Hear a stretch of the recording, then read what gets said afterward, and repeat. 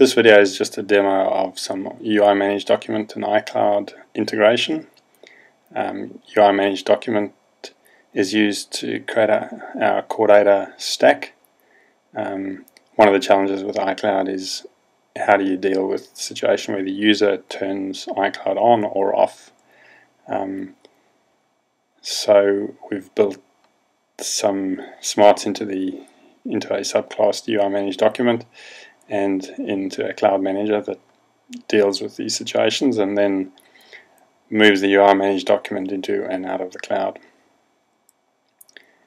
Now we don't actually move the UI managed document into and out of the cloud. You'll see in the demo that all the documents are created in the local devices documents directory but if the user selected to use iCloud then we enable iCloud syncing and if they've chose not to use iCloud, then we disable iCloud syncing. Now when the user changes the settings, we actually have to rebuild a new copy of the store. So we create a new UI managed document to do that.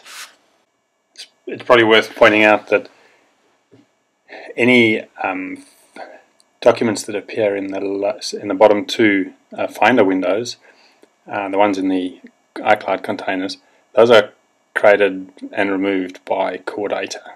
So we don't, our code doesn't go anywhere near either of those two um, directories.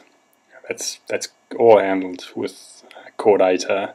All we're doing is um, calling migrate persistent store, or if we want to remove the store, calling remove persistent store using standard NS persistent store coordinator API. You'll notice that when we create a local only document, we just use the user entered file name to create the document. When we when the user is selected to use iCloud, we append a UUID to the actual document name.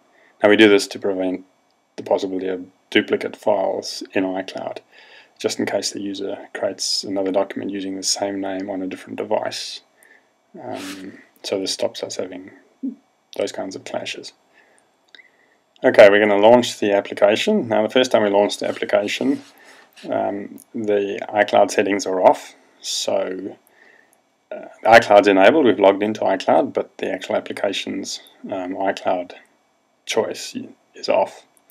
So we'll create a document and we'll just create a local document and you can see the document appears in the documents folder and we'll just open it up and we'll go in and put in some random text just to prove that the actual data gets copied across.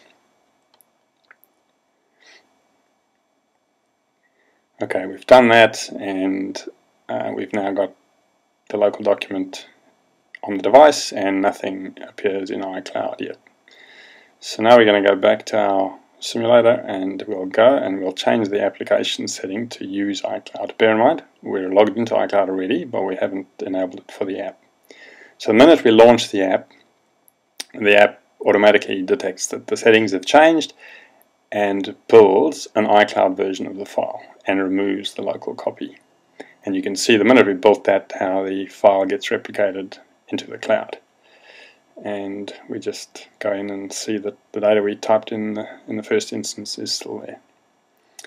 Okay, now we'll go back and we'll reverse those settings. So we'll say, well, we don't want to use iCloud anymore, and we'll switch back out, and we'll go back to the app, and now we get prompted. Do you want to keep the, the files on the phone? Do you want to delete them? Or do you want to just keep using iCloud? So we'll choose to keep local copies, and you can see on the left we've built the local file and we've now removed the iCloud files and that removal has been replicated into the cloud. So if you had any files on any other device, they'll disappear. And there we've just seen we've got all the data still there.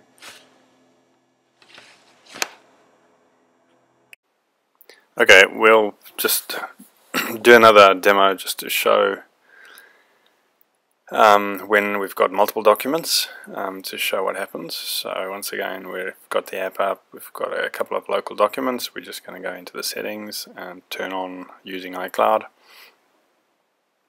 and switch back to the application and the minute we do that the application detects that the settings have changed and sets about building the iCloud uh, copies and again because this uh, activity is asynchronous um, we've got the period where we've got duplicate files that show to the user uh, anyway you can see that it was relatively quickly and we've now got the two iCloud enabled stores with basically the same data in it.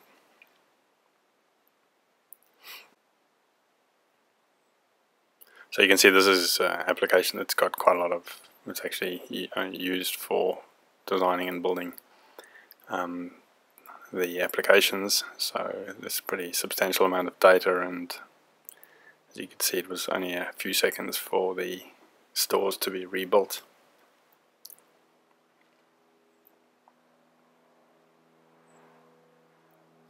Okay, so we'll go out now and um, we'll just reverse that whole process. So you can see the iCloud documents in the device's ubiquity container and in the on the Mac's um, ubiquity container. Alright, so we've just turned iCloud off and we'll launch the app.